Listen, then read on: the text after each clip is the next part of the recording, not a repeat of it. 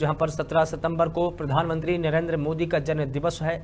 उनके जन्म दिवस को खास बनाने के लिए बीजेपी नेता प्रतीक उमरे जिला चिकित्सालय में जन्मे बच्चों को चांदी के सिक्कों का वितरण करेंगे और जन्म दिवस पर विभिन्न कार्यक्रमों का आयोजन भी करेंगे। बता दें कि प्रतीक उमरे नरेंद्र मोदी के जन्म दिवस पर लोगों को उपहार देते हैं।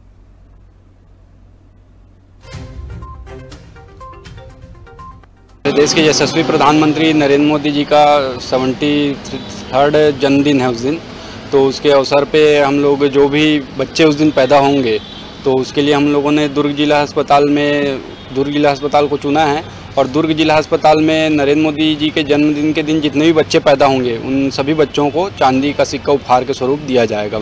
सर जिला अस्पताल के अलावा अगर कहीं प्राइवेट अस्पतालों में हो तो उसको भी देने की कोई योजना है कि सिर्फ़ जिला अस्पताल के बच्चों अभी तक तो सिर्फ़ जिला अस्पताल के बच्चों को देने की है क्योंकि प्राइवेट हॉस्पिटलों का सही आंकड़ा तुरंत में मिल नहीं पाता। और 12 बजे से लेकर 12 बजे तक मतलब जो 17 सितंबर के डेट पे पैदा होंगे उन्हीं बच्चों को देने का है।